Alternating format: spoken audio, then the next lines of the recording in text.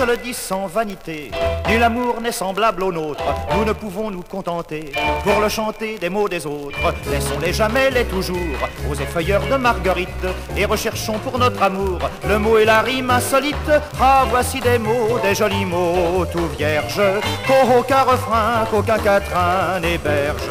Pour commencer, que dirais-tu d'une rime assez rare en urge, pour te dire que tes vertus ont fait de toi un thaumaturge, un thaumaturge, oh mon phénix, c'est quelqu'un qui fait des miracles, et je le jure sur le Styx, tu en fais dans mon habitacle. Ah, voilà des mots, des jolis mots barbares, de ceux qui sont dans les chansons si rares. Pour évoquer ton occiput, ton métatarse ou bien tes jambes, je voudrais trouver sur mon luth, comme André Chénier des iambes.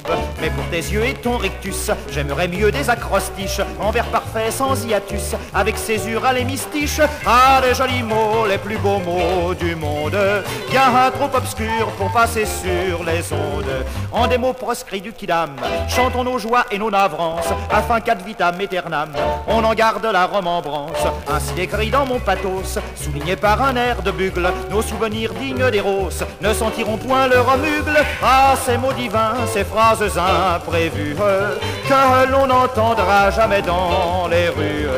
Te souviens-tu de notre break, véhicule importé de Londres, qui nous mena au pays grec, où pour ne pas être hypochondre, nous nous humections le lampasse, non avec un banal picrate, mais avec du bon hippocrate, breuvage apprécié d'Hippocrate. Ah, les jolis mots, les mots nouveaux qui percent, et qu'on ne peut trouver dans le commerce.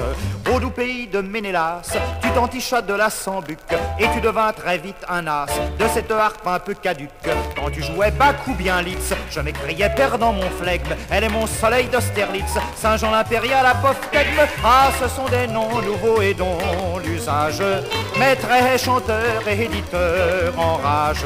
Avant de fermer mon larynx, je tiens à t'appeler ma sphinge. C'est beaucoup moins courant que sphinx, et c'est pourquoi sans doute y tiens-je. Mais à ton silence claustral, je comprends qu'il faut que j'assume l'achat dans le texte intégral du gros Larousse en six volumes. Ha ha ha, les mots jolis, nouveaux et qui risquent, ha d'être pris pour le grand prix du disque.